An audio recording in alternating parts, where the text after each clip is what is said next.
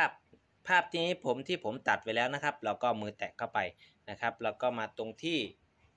เลือกนะครับ เลือกตรงด้านล่างนี้นครับ กดเข้าไปหนึ่งทีก็จะมาอย่างนี้เราก็ขยายนะครับ เอามือจิ้มให้มันขยายใหญ่นะครับ เพื่อที่จะให้มันเต็มรูปภาพนะครับ แล้วก็ต่อไปนะครับ กดต่อไปเรื่อยๆแล้วก็โอเค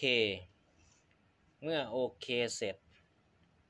นะครับ ก็จะได้รูปประมาณนี้นะครับ เราจะเอากี่ขวดก็ได้นะครับ ตรงนี้ ถ้าเนี่ยสามารถกลับได้นะครับกลับกลับซ้ายกลับขวาได้นะครับ ทีนี้ถ้าเราจะให้มันกลับก่อนนะครับ สมมติว่าถ้าเราอยากให้มันเป็นขวดเงาเงาใช่ไหมครับ แล้วก็กลับหัวมาเลยนี่ครับหมุนหมุนหมุนหมุนตรงนี้นะครับ ตรงเนี้ยนะครับ มาหมุนหมุนตรงนี้นะครับ หมุนไปเรื่อยๆนะครับแล้วก็กะว่าเราจะเงาประมาณไหนนะครับทีนี้เมื่อหมุนมาอย่างนี้เสร็จนะครับแล้วก็ติ๊กตรงตรงรูปพระอาทิตย์นี่ติ๊กเข้าไปนะครับแล้วก็มาเลื่อนสีนะครับเลื่อนสีให้มันให้มันจางๆนะครับเลื่อนล่างด่างอ๋อไม่ใช่ฝั่งนี้นะครับ ตัวนี้ปรับสีเข้มเอาฝั่งนี้ฝั่งนี้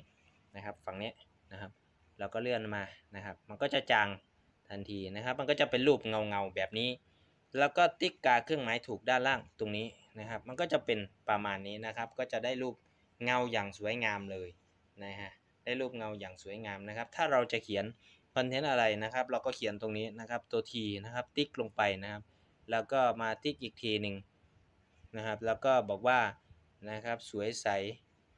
นะครับ ตัวนี้จะเป็น เขาเรียกว่าสวยใส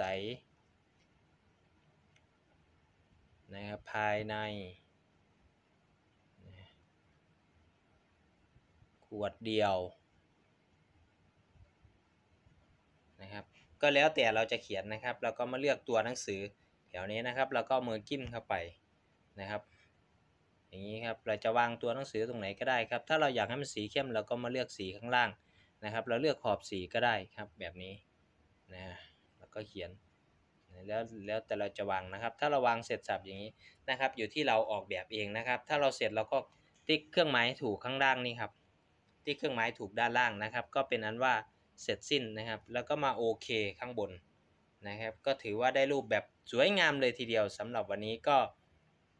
นะครับ ก็ขอขอบคุณนะครับ กดโปรดติดไลค์กดติดตามให้ผมด้วยนะครับสำหรับวันนี้สวัสดีครับ